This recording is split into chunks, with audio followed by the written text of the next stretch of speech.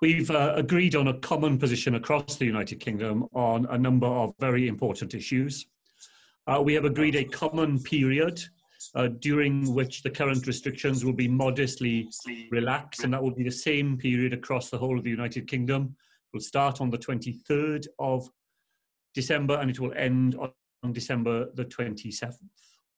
Secondly, we have agreed that current restrictions on travel uh, will be lifted across the United Kingdom.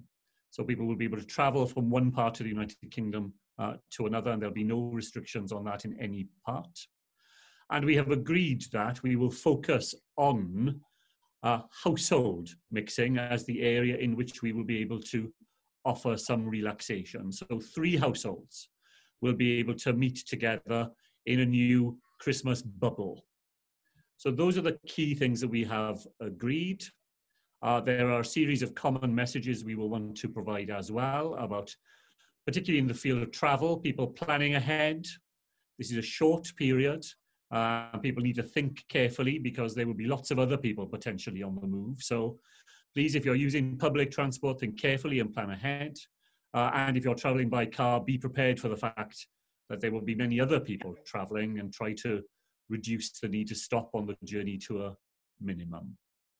Uh, I think finally, the other big message that we will want to share is that coronavirus remains everywhere in the United Kingdom.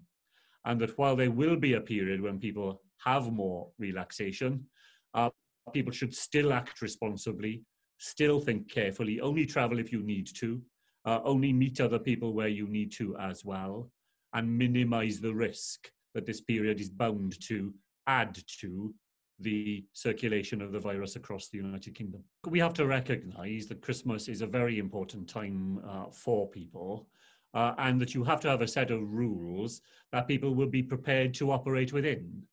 Uh, and the behavioral advice we have from our scientists is, is that unless we are able to devise a set of common arrangements, then people might just make their own rules up, and that could be even more difficult.